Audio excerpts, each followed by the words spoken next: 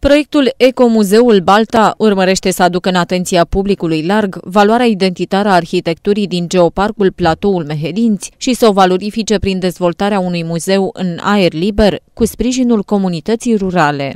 În acest an, prin Ecomuzeul Balta, mergem mai departe și încercăm să creăm un ecomuzeu în satul Balta, care în timp să se dezvolte uh, și în, satele, în celelalte state din Comuna Balta și în uh, Geopark.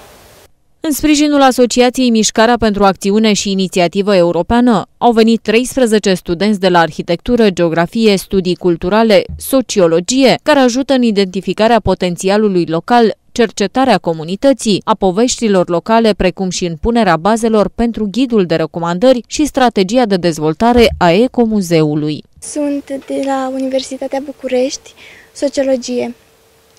În cadrul acestui proiect am aflat uh, toate tradițiile, obiceiurile din această zonă și am analizat atent reacția oamenilor cu cei care vor să descopere toate aceste valori care se regăsesc în mediul rural, care ar trebui să fie valorificate mult mai bine de către cei de la oraș.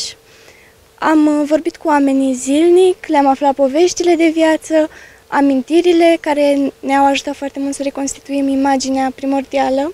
Școala de vară din nostalgia uh, spațiului rural și uh, redescoperirea lui într-un alt context și șansa mea ca viitor arhitect să cunosc locul și să ajung la un moment dat să fac ceva în privința asta. Sunt la arhitectură, la Universitatea de Arhitectură și Urbanism Ioan din București și am ales această școală pentru că în ultimul timp mă interesează din, cel mai mult, din ce în ce mai mult problematica satului și problema de fapt a satului și cum, ce se întâmplă cu el în momentul ăsta. Și cumva când am venit aici am descoperit mai mult decât o soluție la chestia asta, mi-a dat încredere că se putea face ceva, se poate face ceva. Restaurarea a două case bătrânești și transformarea lor în ecomuzee, pe care turiștii de pretutindeni să le poată vizita, a început cu școala de vară, în care studenții angrenați realizează atât o documentare, cât și o cercetare sociologică privind modul în care comunitatea vede acest muzeu. Anul acesta este o școală de două săptămâni de zile, o școală de vară, prin care studenții de la arhitectură și de la Universitatea din București împreună cu personalul Direcției Administrației Geopar Platou Mehedinți au identificat uh, două case uh, pe care încercăm să le uh, ecologizăm pe cât putem. Uh, se fac proiecte, releve ale caselor, Uh, în vederea introducerii în, uh, în circuitul turistic cultural. Proiectul Ecomuzeul Balta este un proiect de 18 luni în uh, Comuna Balta, dar cumva încercăm să includem toate comunele din Geoparc.